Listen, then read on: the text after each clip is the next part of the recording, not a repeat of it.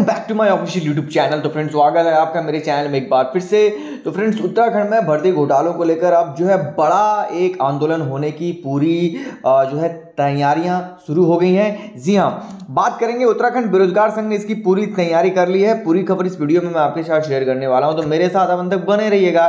चलिए शुरू करते हैं। तो फ्रेंड्स, आप यहाँ पे देख सकते हैं, नकलचियों के नाम सार्वजनिक करने, आयोग के अधिकारियों और कर्मचारियों की निष्पक्ष जाँच, परीक्षाओं को करवाने से पहले नकल रोधी कानून लाने तथा माननीय उच्च न्यायालय के मुख्य न्यायाधीश जी की निगरानी में सीबीआई जाँच करवाई जाए। यदि ऐसा नहीं होता है तो इस सिस्टम के खिलाफ कल से एक व्यापक आंदोलन की तैयारी उत्तराखंड बेरोजगार संघ कर रहा है। इसको लेकर आप देख सकते हैं जो है, उत्तराखंड बेरोजगार संघ ने आज जो है, नगर मजिस्ट्रेट देहरादून को भी एक ज्ञापन सौंपा है। क्या है इस विज्ञापन में? पूरी खबर इस वीडियो में मैं आपके साथ शेयर करने वाला हूँ तो मेरे साथ आप तक बने रहिएगा। चलिए शुरू करते हैं। यहाँ पर आप देख सकते हैं आज की ये डेट है।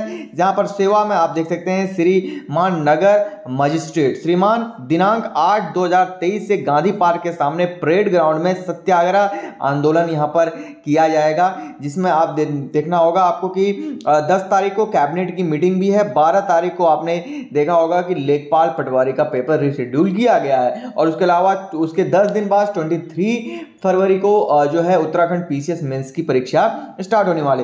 तो इसी संबंध में आप देख सकते हैं कि उन्होंने लिखा है कि सबने निवेदन इस प्रकार है कि उत्तराखंड बेरोजगार अभ्यर्थी भर्तियों में चल रहे घोटालों पर संबंधित आयोगों एवं सरकार द्वारा कठोर कार्रवाई न होने के कारण मानसिक रूप से प्रताड़ित महसूस कर रहा, कर रहे हैं। अतः वे अपनी मांगों को लेकर उत्तराखंड बेरोजगार संघ के नेतृत्व में गांधी पार्क सामने 8 फरवरी 2023 से अनिश्चितकालीन सत्याग्रह शुरू करने जा रहे हैं। अतः उपरोक्त कार्यक्रम आपके संज्ञानार्थ एवं सूचनार्थ प्रेषित है। बहुत ही आप देख सकते हैं आ, उत्तराखंड बेरोजगार संघ के अध्यक्ष यहाँ पर आप देख सकते हैं बॉबे पहाड़ के यहाँ पे सिग्नेचर है। तो मतलब आप देख सकते हैं अब उत्तराखंड बेरोजगार संघ पूरे आर पार के मूड में आ गया है। लड़ाई के इससे पहले आपने देखो आज खबर आ रही थी कि बेरोजगार संघ की मांगे को लेकर जो है उत्तराखंड लोक सेवा आयोग के अंदर आज एक बैठक भी होने वाली थी। हालाँकि अभी तक सूत्रों के हवाले से अपडेट आ रही कि बैठक चल रही है। लेट्स ऑफ़ कि क्या वहाँ से अपडेट निकल के आ, सामने आते हैं हम आप तक पहुंचाएँगे।